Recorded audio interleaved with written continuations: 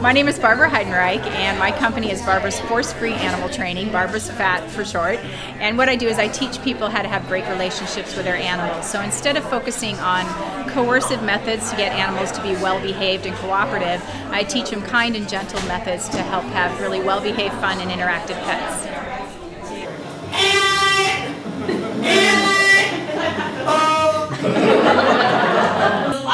Heard about positive reinforcement or clicker training, right? But the reality is in force-free animal training, we're using all sorts of stuff that's non-coercive, not just positive reinforcement. So the word force-free really applies, um, to, in my opinion, because it encompasses everything.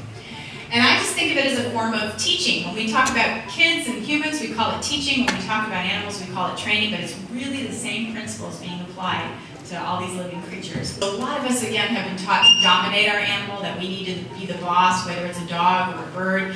And really, what I aim for with any animal I work with, I'm not their boss, it's more of a partnership.